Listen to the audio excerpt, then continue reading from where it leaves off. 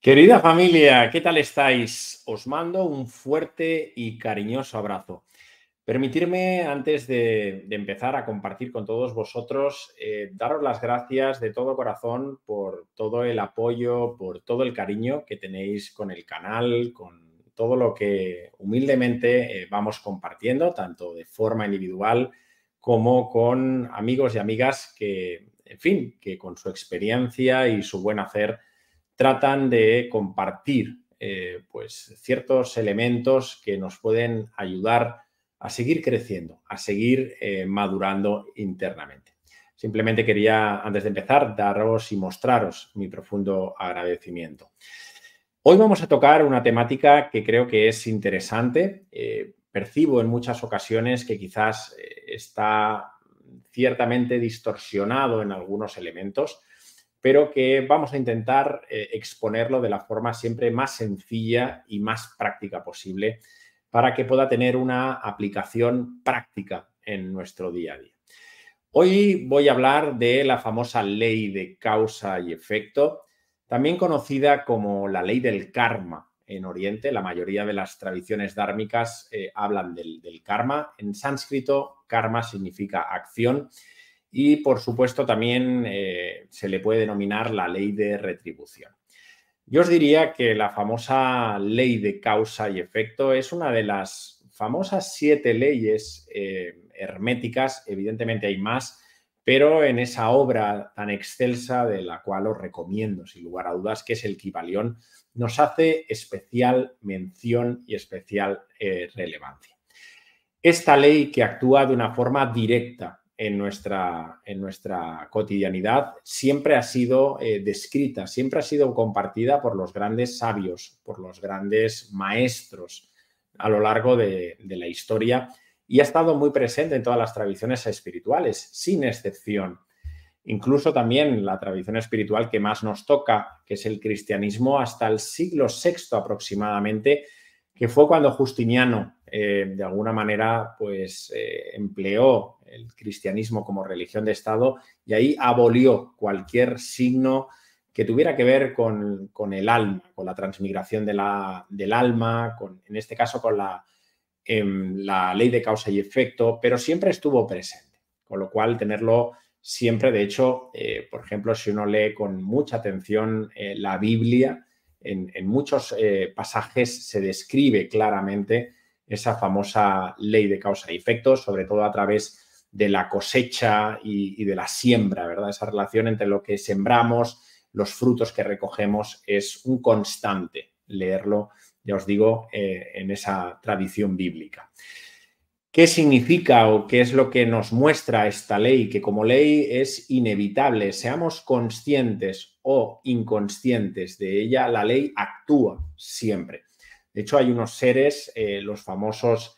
em, señores del karma, que velan y custodian para que todas las relaciones de causa y efecto se cumplan y, evidentemente, permitan no solo a título individual, sino a nivel global que se mantenga un profundo equilibrio y una profunda armonía en todo el cosmos. De hecho, ese es el objetivo que tienen las, leyes eh, herméticas o las leyes universales actúan en sinergia, evidentemente no actúan de forma separada, sino que actúan siempre de una forma sincrónica para que eh, todo, aunque nunca lo percibamos o pocas veces percibamos desde nuestra mente, eh, que todo está en orden, de que todo mantiene un equilibrio perfecto, de que todo mantiene una armonía. Y las leyes se encargan principalmente de tal cometido.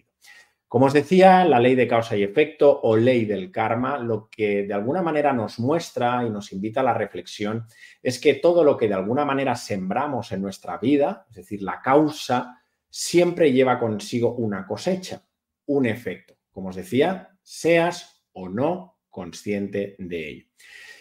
Es verdad que esta ley de causa y efecto o ley del karma eh, no se ha entendido en muchas ocasiones bien, porque de hecho, hablamos de esa expresión en el mundo espiritual de que tengo un mal karma, tengo un buen karma, de alguna manera como si los infortunios del destino, ¿verdad? O algún ser antropomórfico en el cielo nos enviara ciertas experiencias que van asociadas precisamente si tenemos una experiencia en tono positivo o en tono pues agradable, pues eh, expresamos, pues bueno, tengo un buen karma, ¿no? Tengo un golpe de suerte.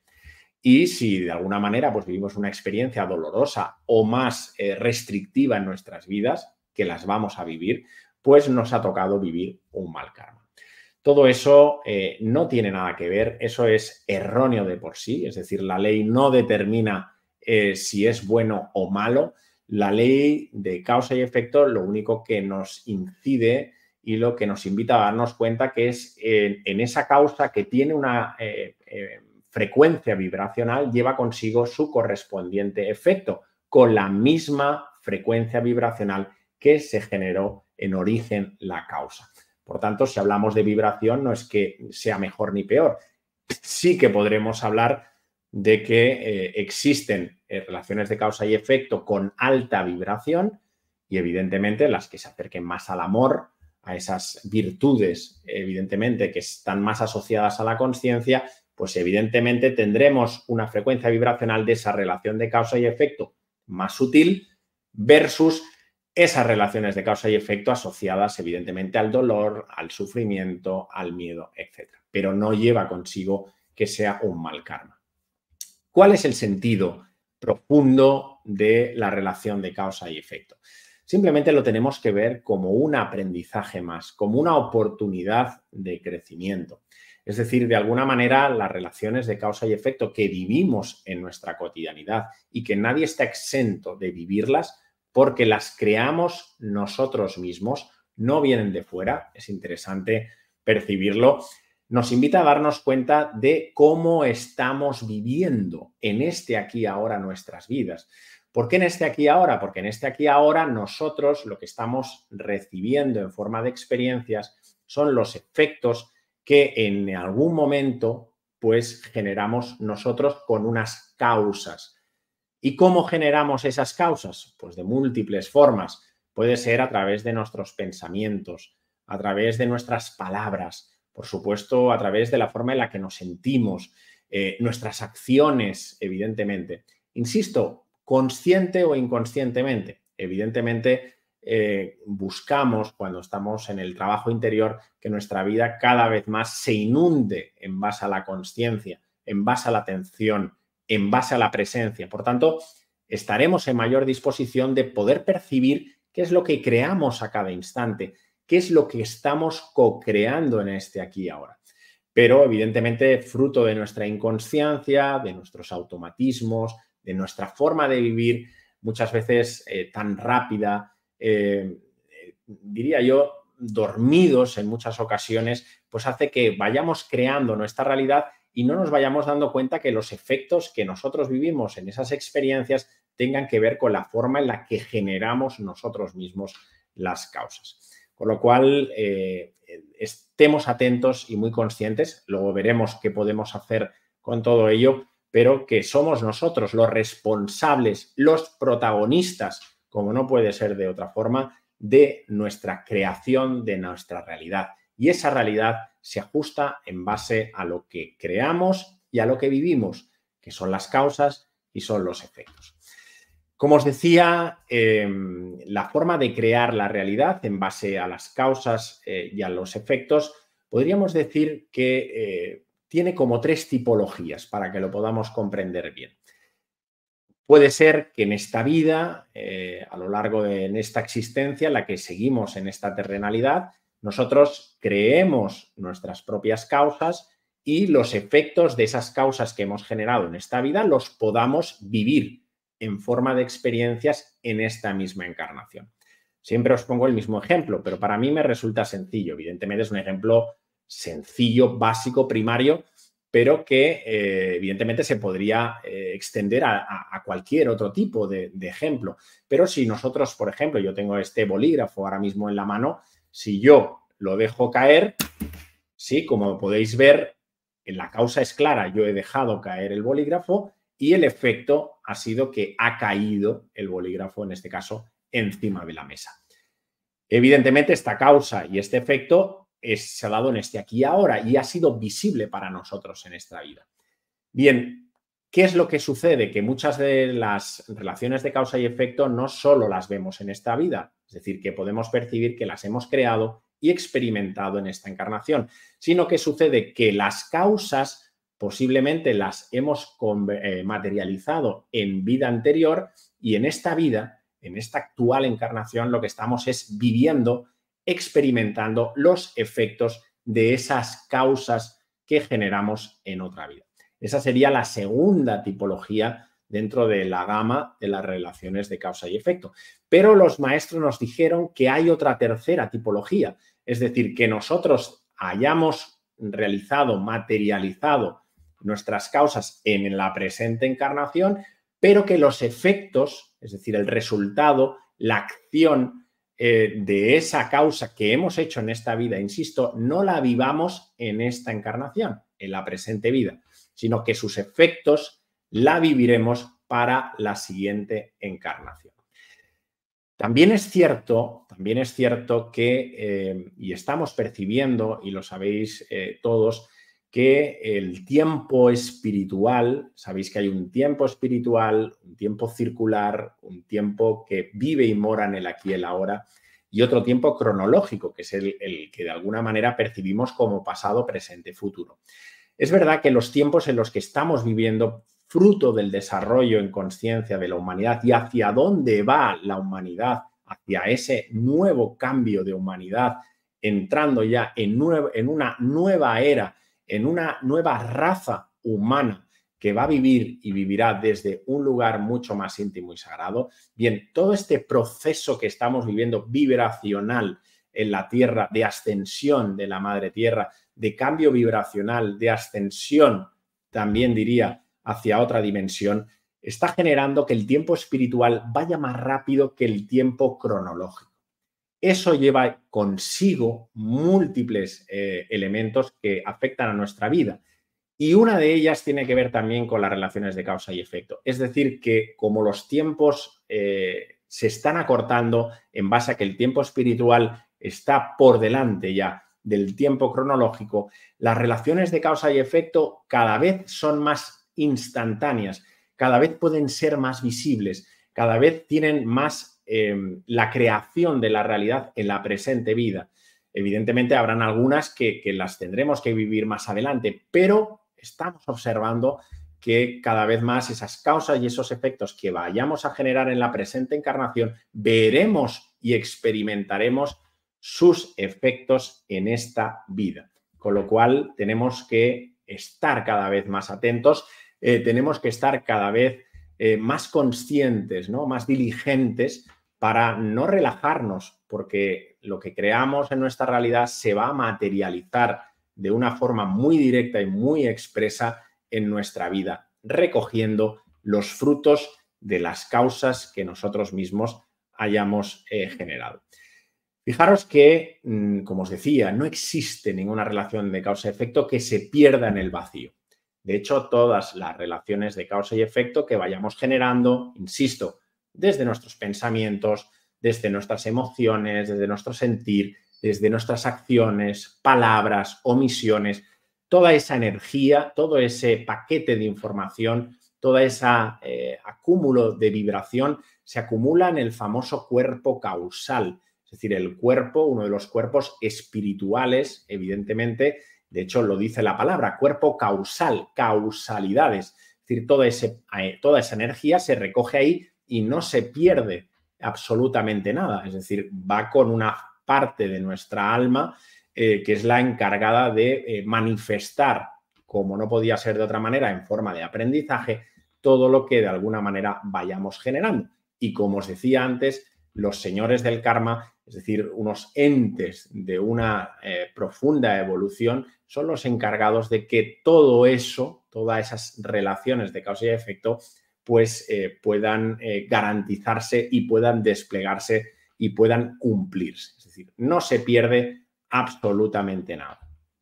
Ante este escenario, ante lo que os he compartido de lo que tiene que ver con la ley del karma, la ley de retribución o causa de, y efecto, ¿qué es lo que podemos hacer? Es decir, si ya sabemos que la ley opera, sabemos que la ley actúa, sabemos que mm, prestemos o no atención, vamos siempre a ser nosotros mismos los encargados de crear esas relaciones de causa y efecto. ¿Qué podemos hacer para emplear la ley a nuestro favor? Para que la ley pueda actuar en beneficio nuestro y, por supuesto, en beneficio de todos los seres.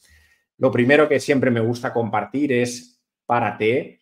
serénate, aquietate y observa con suma reflexión, observa con sumo detenimiento cuál es el tipo, cuál es, eh, diría yo, el aroma de las experiencias, el tono de las experiencias que estás viviendo en tu vida. Es decir, en este aquí ahora, piensa, reflexiona, observa en todas las dimensiones de tu vida, personal, familiar, laboral, en el ocio también, cuáles son las experiencias, las personas, situaciones, tus relaciones con el dinero, tus relaciones con, en fin, con todas las dimensiones de tu vida y percibe claramente cómo son esas experiencias que estás viviendo. Eso que te ayudará primero a tomar conciencia, es decir, aquí lo que estás viendo ya son efectos, es decir, vemos los efectos a través de las experiencias, con lo cual podemos ya dilucidar, podemos ya percibir que los efectos, perdón, que las causas que, los, que las generaron tienen la misma vibración de las experiencias que estás recibiendo y que estás viviendo en tu vida. Que, insisto, tú mismo las creaste, consciente o inconscientemente. Por tanto, lo primero es observa, date cuenta, no para juzgar, no para etiquetar, sino para hacer una toma de conciencia que te permita abrir tu visión, que te permita abrir eh, un campo desde ese testigo transpersonal, desde ese observador consciente, para ir poco a poco creando paulatinamente la realidad en cada aquí y ahora que, te, que, que te permita eh, poder desarrollar y que te permita crear en conciencia. Y ahí está el primer paso.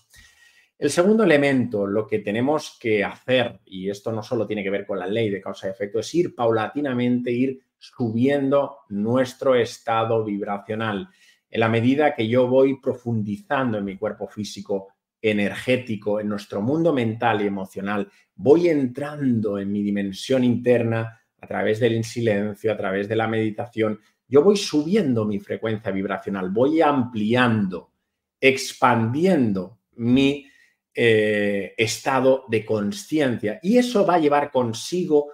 una transformación interior. Voy a ir cambiando mis pensamientos, transformando mis sistemas de creencias, empezando a transformar ciertas emociones que dirigían mi vida y poco a poco voy a ir sanando todo ese paquete, insisto que todos tenemos, todos absolutamente tenemos, pero que lo vamos a ir transformando en un material mucho más sutil. Del mismo modo que seremos capaces de ir transformando interiormente nuestros puntos de anclaje de la creación de la realidad que llevarán consigo las correspondientes causas y los efectos que vamos a vivir serán de un tono diferente, atendiendo a ese cambio vibracional que vas a ir eh, poco a poco consiguiendo y transformando. Por eso siempre os digo la importancia de subir, subir, elevar nuestra frecuencia vibracional porque va a hacer que nuestra realidad por completo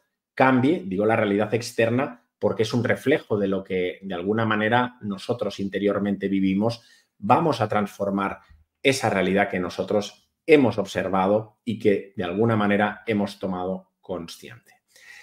En tercer lugar, eh, y un tercer punto importantísimo, no solo para, esta ley, es tratar de mantenerlos lo más atentos y presentes posibles. Yo sé que esto es eh, casi es un mantra, ¿verdad? Pero y que muchas veces lo tenemos tan intelectualizado en forma de, bueno, tengo que estar en el aquí y el ahora, tengo que estar presente y no le damos la importancia eh, en la práctica que se merece. Tenemos que intentar, en la medida que podamos, ser autovigilantes, con nosotros mismos, ver cuando estamos volando, ver cuando estamos viajando con nuestros pensamientos, observándonos a nosotros mismos cuando estamos distraídos, cuando estamos perdidos en otros mundos, ¿verdad? Es ahí cuando tenemos que volver, retomar el cuerpo, ¿no? Habitar nuestro cuerpo y clavarnos, mantenernos en la presencia. Desde ese estado, desde ese estado de atención, desde ese estado de atención plena, de presencia, podremos determinar, en, sin lugar a dudas, cómo serán las causas que nosotros vamos a generar con sus correspondientes efectos. Es decir, si yo estoy despistado, estoy enfadado, estoy triste, no digo que no podamos estar atentos, eh, o sea, que no podamos sentir esos estados, pero deberemos estar con mucha presencia y mucha atención para no mantenerlo constantemente esos estados, porque lo que vamos a entrar es en espiral de crear realidades que vayan con esa frecuencia una y otra vez. Lo cual, en la medida que yo me mantengo atento, presente, podré darme cuenta de cómo estoy pensando, podré darme cuenta de lo que soy capaz de expresar con mis palabras, podré percibir claramente cuáles son mis acciones, si realmente tienen una frecuencia vibracional más alta, más densa, Bien, el que está atento nunca muere, decía el Buda, ¿verdad? Con lo cual, importantísimo tener siempre, en la medida que podamos, esa atención muy, muy presente en nuestras vidas y esa presencia que nos permita ser los observadores de lo que pasa en nuestro mundo interno y en nuestro mundo externo.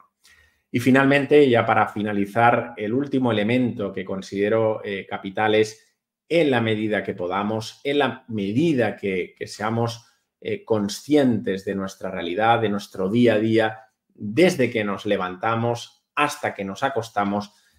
trata en la medida de lo posible generar acciones virtuosas, como se expresa en el budismo. Esas acciones que tienen alta vibración, eh, súbete al tren de la alegría, trata de que esas acciones tengan siempre un beneficio, no solo para ti, sino para los demás. Acciones donde se alejen de la envidia, de la rabia, del odio, del engaño y apuesta por, por todas esas virtudes humanas de alta vibración como es el amor, eh, la incondicionalidad, ¿verdad? Ese amor eh, compasivo, eh, la cooperación, la colaboración, el altruismo, la generosidad, ¿verdad? Bien, todas esas acciones vibracionalmente insisto, tendrán sus correspondientes frutos, que serán las experiencias que mañana vas a vivir, porque en este aquí ahora estás generando con tus acciones